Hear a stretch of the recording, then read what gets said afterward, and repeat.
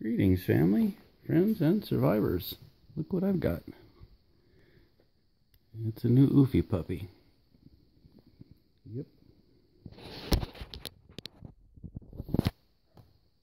What you doing, kid?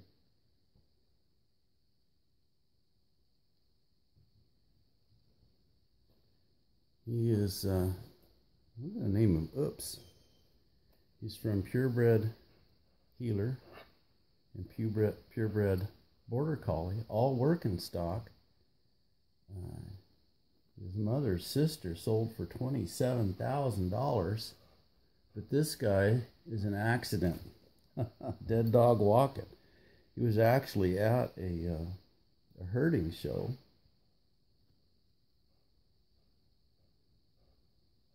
And uh, his dad and his mom uh, stole away a few minutes to have an accident. And that's exactly what Blue is. Blue is only instead of Heeler and Border Collie, Blue is Heeler and Australian Shepherd, which is the perfect mix. But we have to get a puppy before Blue is gone. It's Blue's birthday today. I think he's 12. Maybe he's 13. But uh, get a puppy for Blue to train and we just have to do it. So this guy came to, came to us today.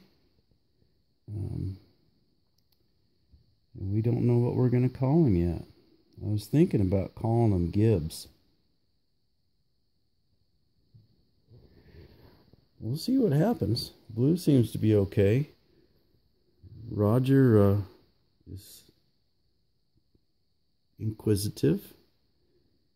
And uh, the puppy is teething on my finger.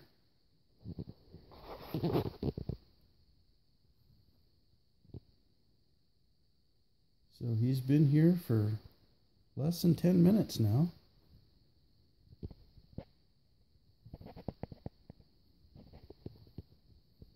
It's not going to hurt you, buddy. anyway, that is uh, addition to the homestead. What we do is we get cattle bred dogs and uh, we let the older dog train the younger dog. Blue is trained down to hand signals and I never trained him. Um, our other dog, who was a purebred Aussie cattle bred, great big dog, Bo trained Blue and now Blue is going to train Gibbs. Gibbs. Leroy Jethro Gibbs. Yeah. Looks like he's about ready to go to sleep. Roger's thinking, hmm,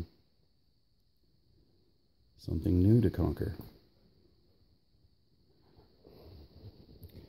Blue has a new lease on life. You got a new job, buddy. All right, folks. Have a blessed day. We are.